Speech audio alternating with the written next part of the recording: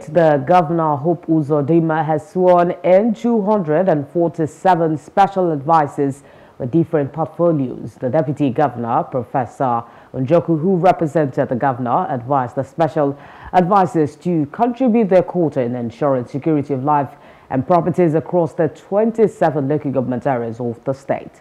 Njoku, who also stressed that no meaningful development thrives without security, urged the special advisors to work assiduously towards ensuring dividend of good governance at the grassroots. In their response, some of the special advisors promised to put in their best in the fight against insecurity in the state. We'd like to make sure that we are all directly involved in ensuring security in our own villages and communities and worlds.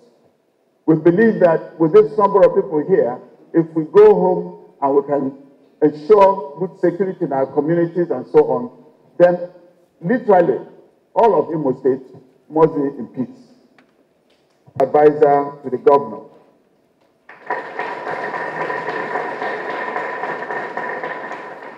And I must urge you to work hard in the interests of our government and the good of our people.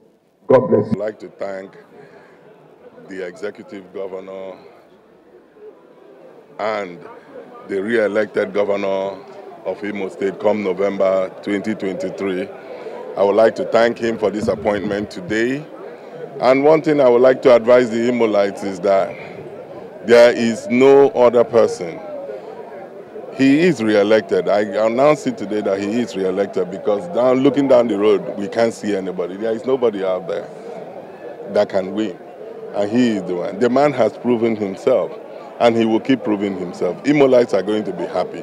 Before I spoke about mass transit, you, everybody can see it now that is manifesting. The kind of program that this man has for the state, the entire state, is so enormous that Imolites, believe you me, just that they sing the Mbakwe song, they are going to be singing the Uzodinma song by his special grace of Hello, hope you enjoyed the news. Please do subscribe to our YouTube channel and don't forget to hit the notification button so you get notified about fresh news updates.